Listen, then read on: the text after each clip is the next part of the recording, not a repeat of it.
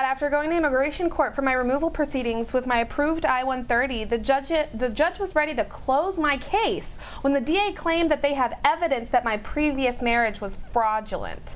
So they scheduled me for an individual hearing, and what's going to happen, and why are they now coming up with this? Uh, the judge is asking for affidavits about what happened in my previous marriage. Uh, they would need to prove uh, by a preponderance of evidence that you entered into a fraudulent marriage. Someone has to come and testify. I don't know what they're going to have. In other words, maybe your ex-husband signed a document saying it was a fraudulent marriage. But unless the ex-husband is going to come and testify to that, you can't cross-examine a letter.